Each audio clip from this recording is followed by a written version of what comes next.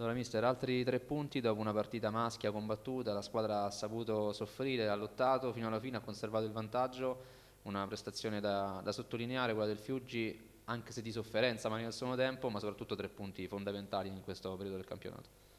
Sì, sono tre punti fondamentali, sapevamo di, incontrare una squadra che con le grandi aveva fatto molto bene, ha raggiunto anche dei, dei risultati importanti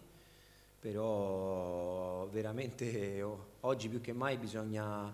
bisogna esaltare la prestazione dei ragazzi perché hanno fatto una prestazione veramente tosta sotto tutti i punti di vista, sotto i punti di vista di sofferenza, di sacrificio, di voglia e di, e di portare a casa la vittoria, portare a casa il bottino intero. È stato, è stato difficile, è stata una partita veramente maschia con con tante difficoltà dove tutti quanti dal primo all'ultimo si sono, si sono espressi al meglio e sono, hanno, hanno, buttato proprio il cuore oltre l'ostacolo come, come, si dice, ma è una cosa ormai che, che questa squadra ha nel DNA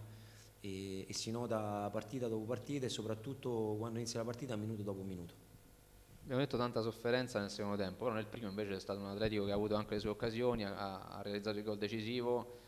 fatta una partita apposta in questo modo, no? cioè primo tempo cercare di sbloccarla per poi difendersi. È successo anche in altre partite, ricordiamo anche col Matese 1-0 stesso punteggio, anche inizio campionato quando c'erano altri giocatori, comunque una squadra che ha saputo spesso conservare il vantaggio concedendo poco all'avversario. Forse oggi ha concesso qualcosina in più, ma bravi anche gli avversari che stavano comunque attraversando un periodo importante anche loro. Sì, secondo me è un'analisi, un'analisi perfetta. Eh, voglio partire dagli avversari perché mi hanno fatto un'ottima impressione li avevamo studiati, sapevamo eh, di affrontare una squadra, una squadra secondo me molto importante con delle individualità veramente che possono dare fastidio a chiunque e, e esaltare la, la, prestazione, la, prestazione, della squadra. Naturalmente l'abbiamo impostata così, poi nel momento in cui eh, andiamo in vantaggio naturalmente non rinunciamo a giocare ma sicuramente stiamo, stiamo un po' più attenti a, a non prenderle e cercare magari di consolidare questo vantaggio facendo un altro gol. Al secondo tempo abbiamo sofferto, eh, Novi ha fatto, ha fatto, due belle parate, abbiamo salvato anche un gol con, con Jakubib, però eh, alla fine siamo anche ripartiti due o tre volte, abbiamo avuto due occasioni sul calcio d'angolo, quindi credo che alla fine la partita è stata disputata anche forse all'inizio con un po', più, un po' troppo nervosismo, però è stata disputata veramente dai ragazzi alla grande, interpretata nel migliore dei modi e poi alla fine giustamente hanno vinto questa partita. Mister, quindi oggi salvezza raggiunta con questa vittoria? Ma sì, penso di sì, non lo so, ancora non ho visto sinceramente gli altri risultati perché è quello che dico alla mia squadra, noi valutiamo partita dopo partita e pensiamo prima a noi, dopodiché naturalmente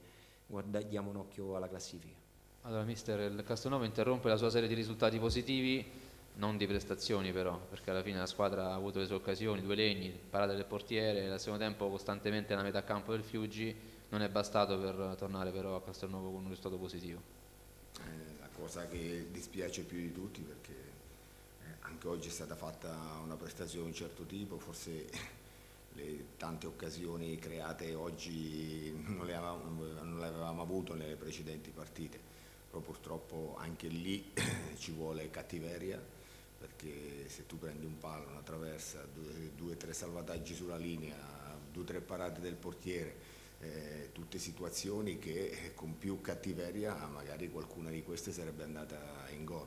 Eh, la cattiveria, dico sempre ai miei ragazzi, non ci vuole solo nella fase difensiva, ci vuole anche quando fai un passaggio, ci vuole anche quando eh, devi tirare in porta e devi far gol. Noi oggi, eh, pur disputando una grande partita, non siamo stati cattivi abbastanza.